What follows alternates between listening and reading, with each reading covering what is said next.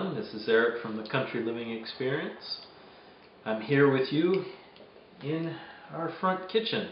This is the only place that serves really well as a uh, temporary greenhouse for us. We're in this rental house as we get ready to build our country home. Um, what I wanted to talk to you today about was a little issue I found with our citrus here that we brought up with us from uh, the south, where we just moved from. So right here we've got a mandarin orange tree, and over here we've got a Filipino calamansi tree. It's actually a wonderful little uh, Asian lime that's very potent and very delicious. So I noticed that on some of our leaves we had a fluffy white substance. It's very strange. It's almost like dust. So I just blew it off thinking it was dust. It's not dust. It's mealybugs. Uh, this is a common infestation with houseplants and interestingly enough also with citrus. So after quite a bit of research and quite a bit of uh, trial and error, I found some fantastic techniques to take care of this mealybug problem uh, on your indoor houseplants, orchids, citrus plants, whatever it may be. Right here, we've got a spray bottle full of three things. Water, dish soap, and neem oil from the neem tree. Uh, it is an annoyance uh, to a lot of pests. It is uh, anti-fungicidal. Um, make sure you use a dish soap that does not have any bleach in it. Uh, the dish soap is only there to act as a surfactant to stick the bugs as well as the oil uh, to the plants and suffocate them so they cannot breathe. So this has actually been actually fantastic in keeping these mealy bugs at bay and hopefully uh, after a few more treatments it will begin to um, kill all of them. I, I want to show you this fantastic neem oil. We, we get this uh, online. This is just uh, virgin cold pressed neem oil. Uh, it's a health and beauty brand. It's directly from India, imported from India, and it's it's some fantastic stuff. Also, there's another uh, method. Well, I just want to show you real quick just regular dish soap. No bleach, remember that. Another method here, you can see I've got this small jar. I've got this mixed at uh, one third rubbing alcohol, two thirds water, and some, probably about a teaspoon of dish soap. You want to mix that up. So this is fantastic for killing all the larvae that's on the bottom of the leaf. And we just dab this on Get this nice and soaking wet here. Squeeze out the excess, okay? So I want you to go, and this is quite tedious, but it's going to work.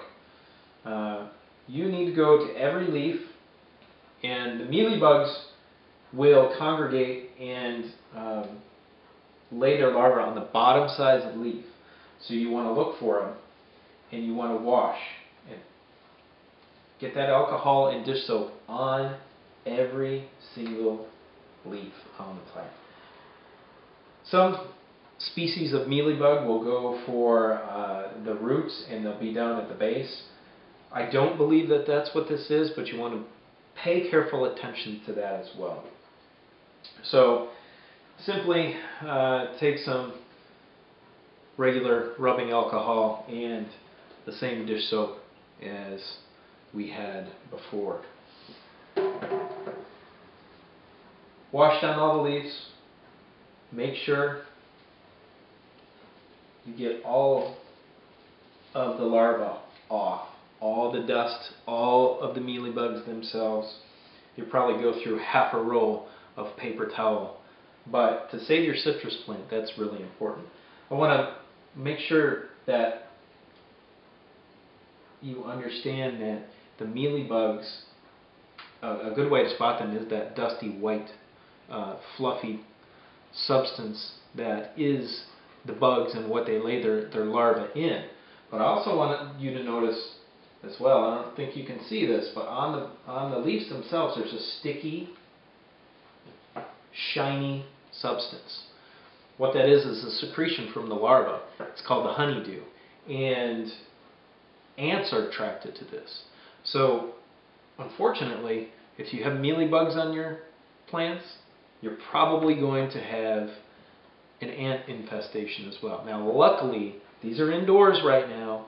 The ants have not made it to these. I believe I caught it in time. Um, as you can see as well, this uh, mandarin orange is just about ready for pruning. I didn't want to prune it too soon because of the shock of actually moving it. It was in the ground uh, in the south of Texas. And now we're in the north of Texas, and I just wanted to let it alone for a little while, make sure that it's going to be uh, healthy, and citrus trees, when you transplant them, their roots can get shocked really, really easily. You have to be very careful with them.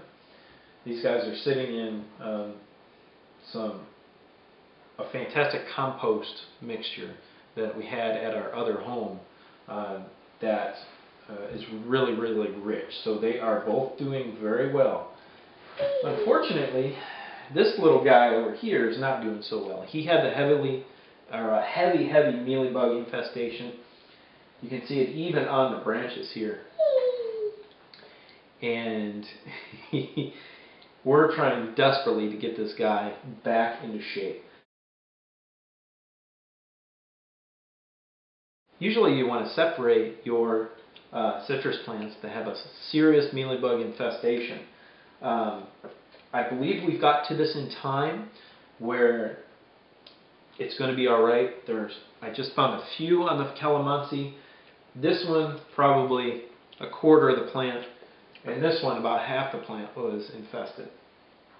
Infested so hard that I'll show you some of the mealybug dust actually dropped off and, and, landed on, on the ground, which is uh, pretty amazing stuff to, to look at. It's a pretty fascinating little bug.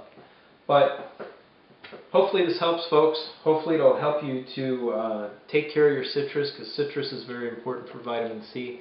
Um, these guys will be moving to our greenhouse in, in our new home and uh, they just can't survive up here in north of Texas. They're, they're fine in the south of Texas, but up here, um, they need some indoor love. And I think that we'll get some fantastic yields out of these guys over the years.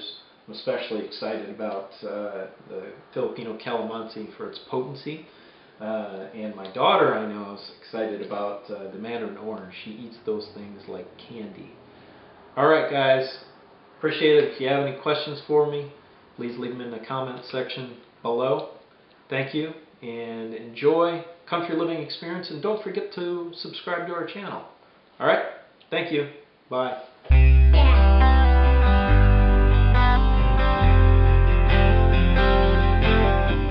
Bugs on the leaf. The block the bugs on the leaf. It's going to go away. This is not the kind of leaf. Mm-hmm. This uh, this the bug is the plant. The bug came up with the plant. Really? That's great. Bye. Bye.